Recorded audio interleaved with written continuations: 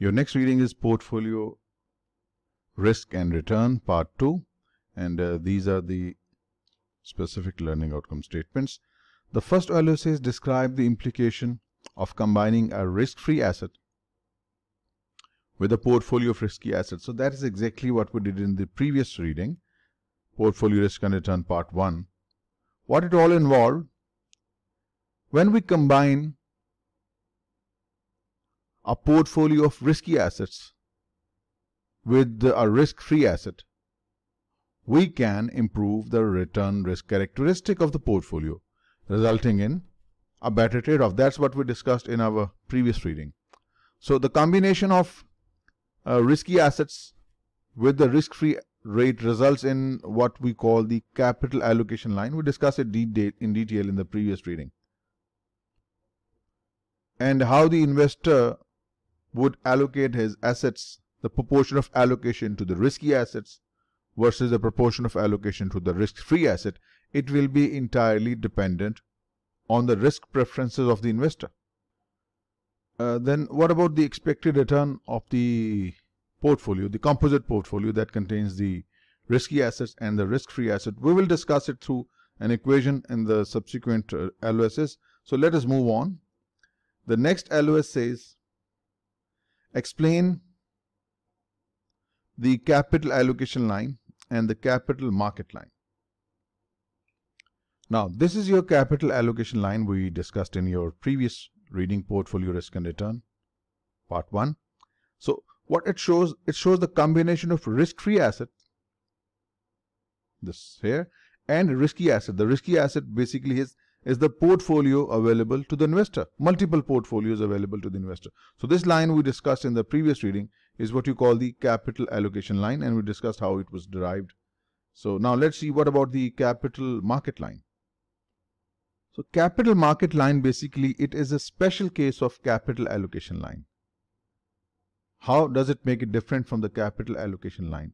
The difference between the capital allocation line and the capital market line is that for capital allocation line, it is made up of allocation between the risk-free asset and a risky portfolio for an investor. Whereas in capital market line, the risk portfolio is the market portfolio. That's the difference. The investor defines uh, the market to be its domestic stock index.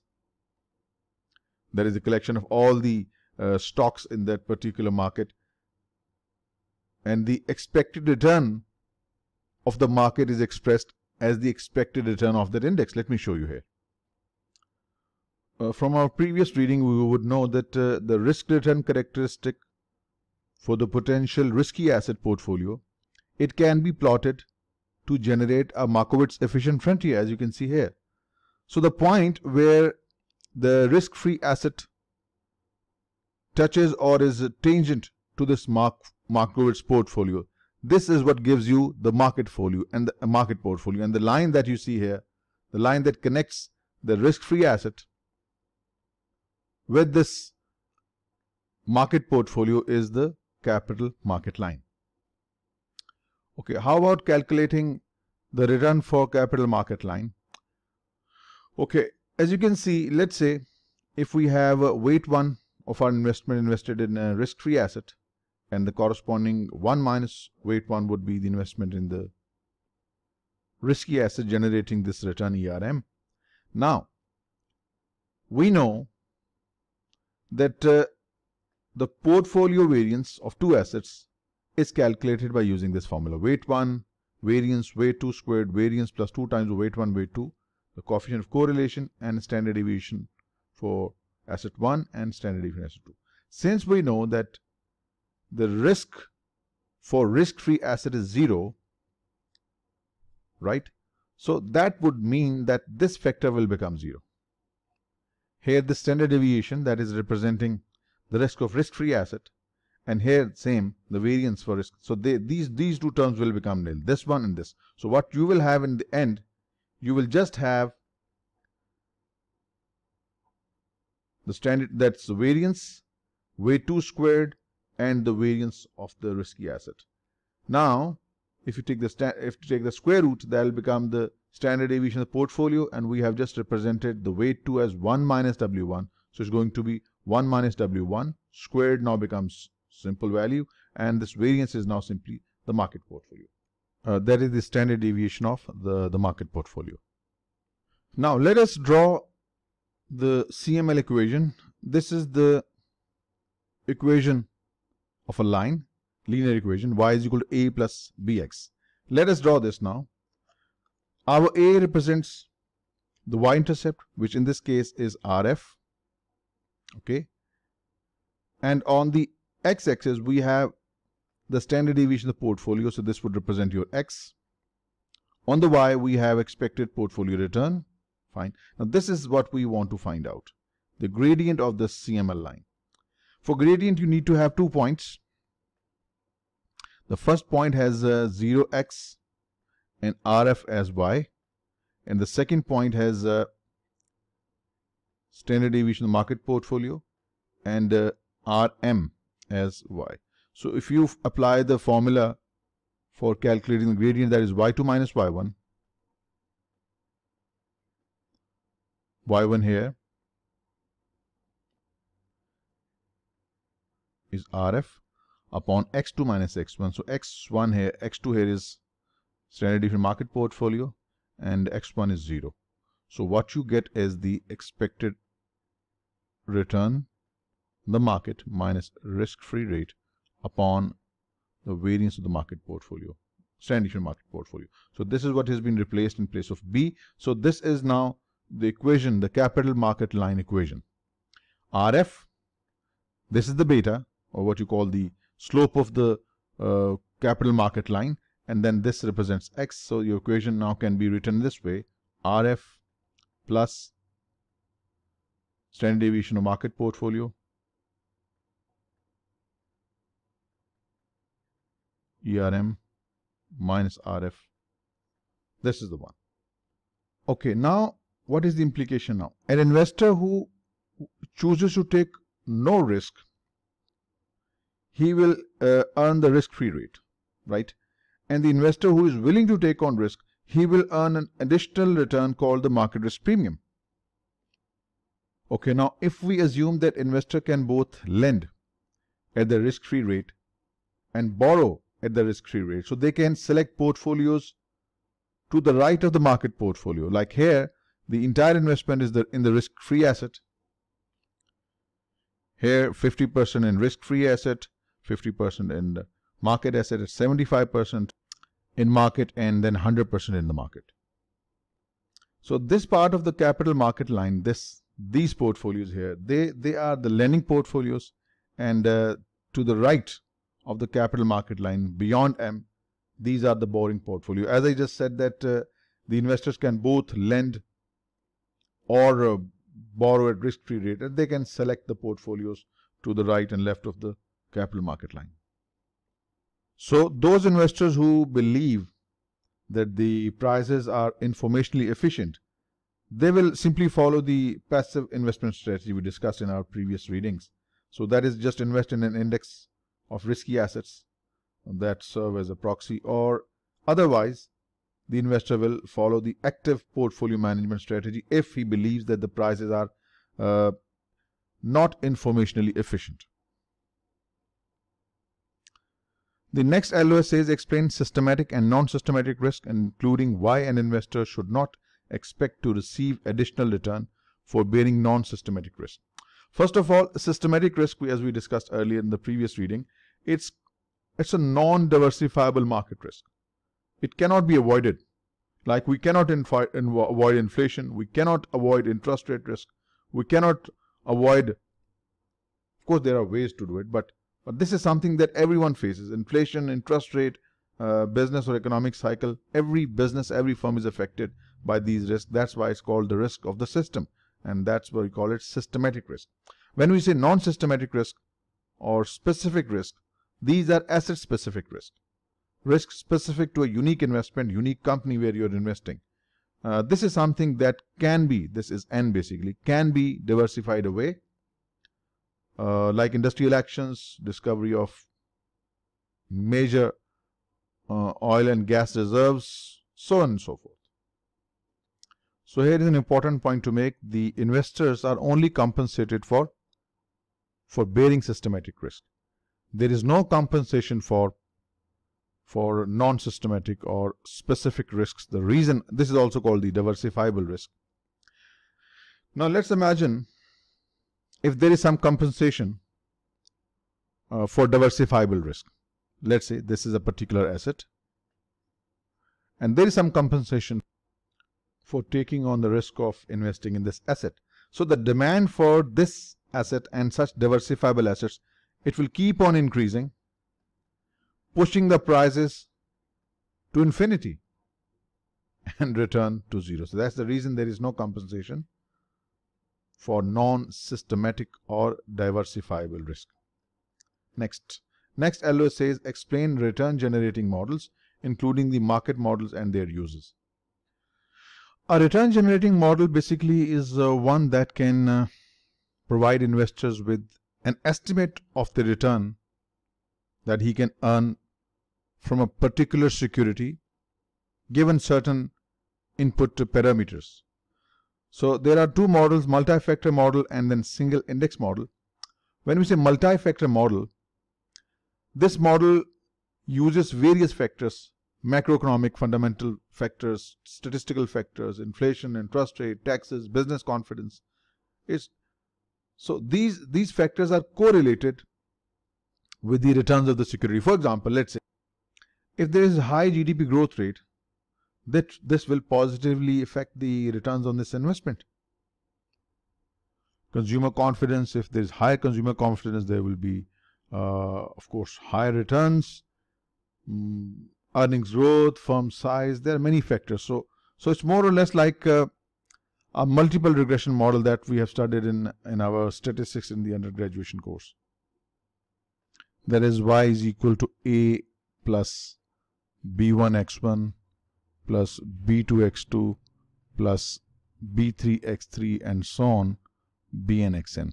But in this context, it's going to be the expected return risk-free rate and then of course various factors with their coefficients. So as you can see this model states that the expected excess return, now what is excess return? There is ER minus RF. So if you just take RF to this side, so that would be the excess return. That is the return above the risk-free rate. So the excess return for a certain asset is the sum of each factor sensitivity. This beta 1 represents the factor sensitivity also called the factor loading multiplied by the expected value of that factor for the period plus beta 2 plus expected value of that factor for the period. So adding these all up will give you the expected excess return. That is your multi-factor model. Next we have single index model. Single index model basically uh, it's a, it's a single factor linear model that uses the market factor as the only factor. So this model basically is driven from the capital market line. The model equation is actually a rewrite of the capital market line.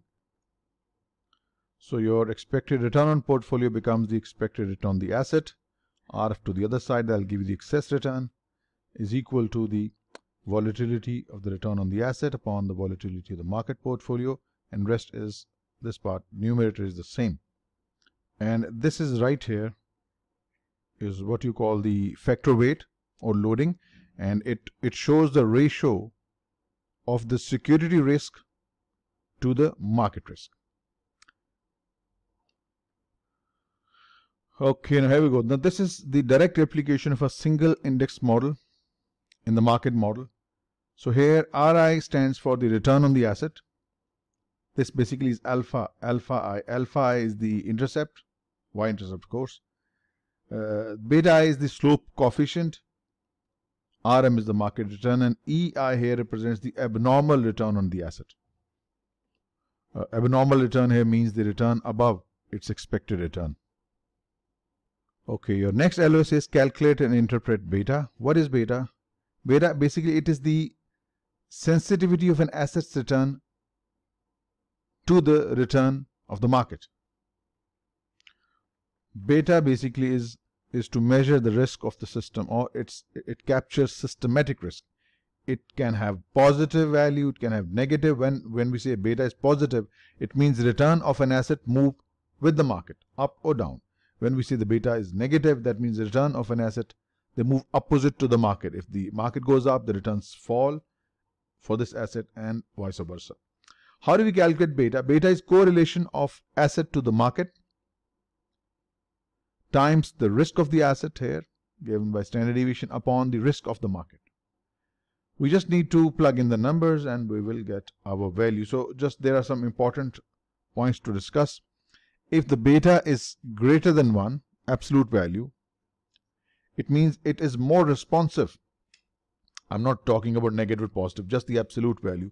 If it is greater than 1, it means then it is more volatile than the changes in the market. It will react more than the changes in the market. Let's say if it's positive, if the market goes up and the beta is greater than 1, that asset will show high return and vice versa. Conversely speaking, if the beta is less than 1, then the asset will be less volatile, it will be less reactive than the changes in the market. So you can just interpret this way, if the market goes up, it will move up slightly and if it falls, and when the beta is exactly equal to 1, it means then they move up and down in the same way. That is, they respond in the same way.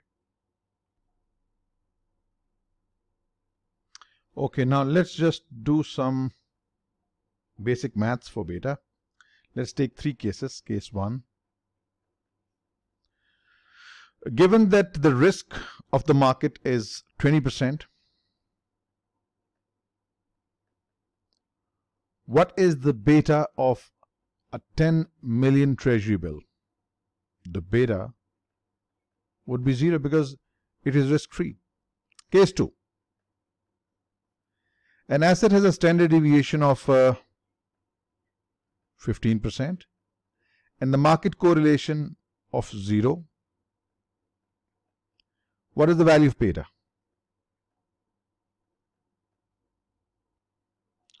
Course, beta would be 0 as per the formula we discussed in the previous slide. And in the third case, what is the beta of an asset with the standard deviation of uh, 15% and a market correlation of 0.8 given that the market standard deviation is 10% uh, what would be the beta? We know the formula in the previous slide. Let me show you this one.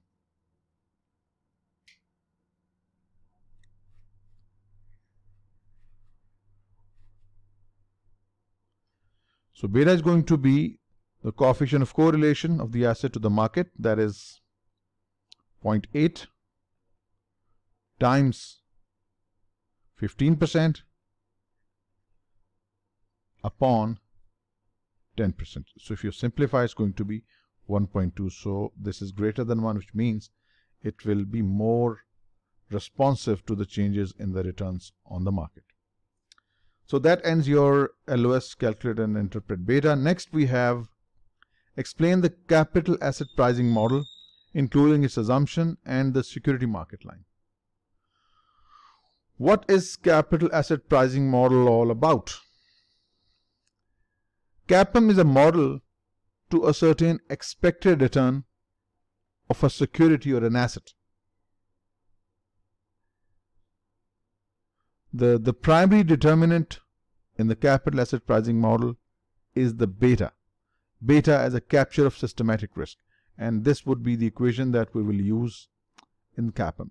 Expected return on the asset, risk-free rate, beta as discussed in the previous uh, LOS, and the excess return, the premium that is the expected return on the market minus risk-free rate. There are certain assumptions to this model. First, investors are risk averse. They are rational and they are utility maximizing. We discussed this concept in the previous reading. What is utility maximizing? Uh, the investor wants high returns. Every investor wants high returns. And then what does it mean by being rational? Rational means every investor analyzes available information correctly to arrive at rational decisions.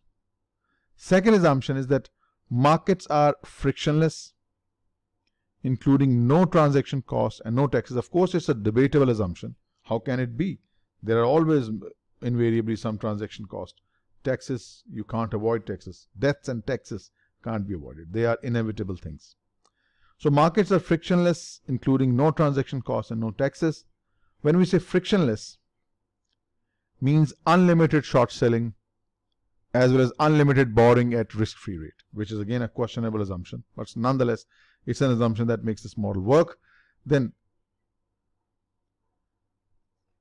effects of any transaction costs, taxes are assumed to be immaterial, as if they don't exist. So if investor plan for the same single holding period, all investors, still we assume that the CAPM will hold. It will not severely limit the applicability of CAPM. Then investors have homogeneous expectations or beliefs. A questionable assumption, but nonetheless that is needed. Uh, assets valuations are identical and uh, same optimal portfolio of risky asset is generated. So the market portfolios are the same. The next assumption is all investments are infinitely divisible. Investors can hold fractions of assets.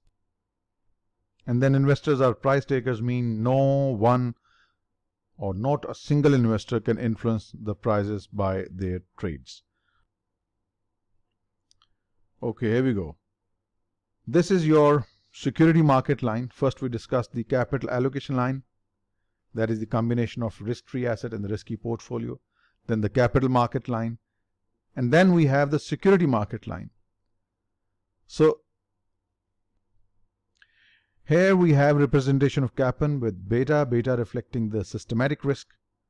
Similar to the capital market line, the y-intercept represents RF and the slope of this line is the market risk premium.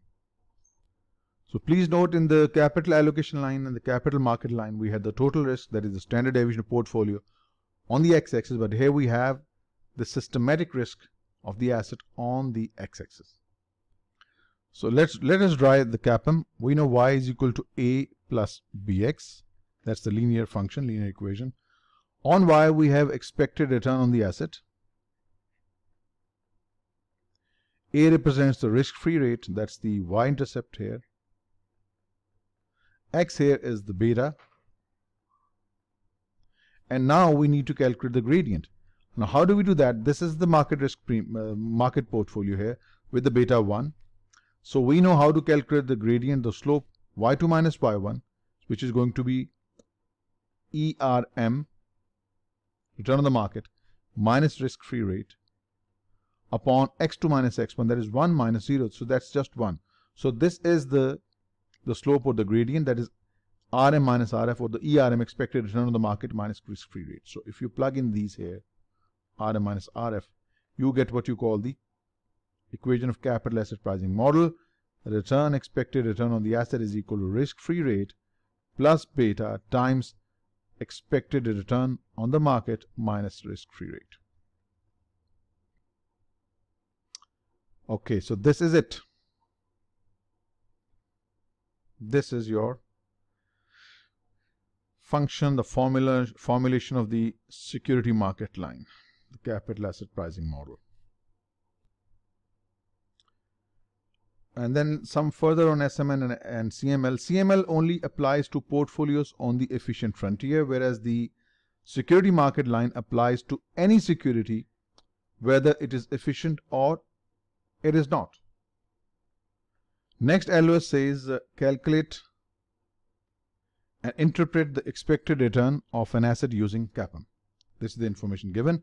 Calculate expected return for a security given the risk-free rate is 5%, standard deviation of security is 40%, security correlation 0.8, standard deviation 20, RM 10. So this will help us calculate the beta. Let us first calculate the beta.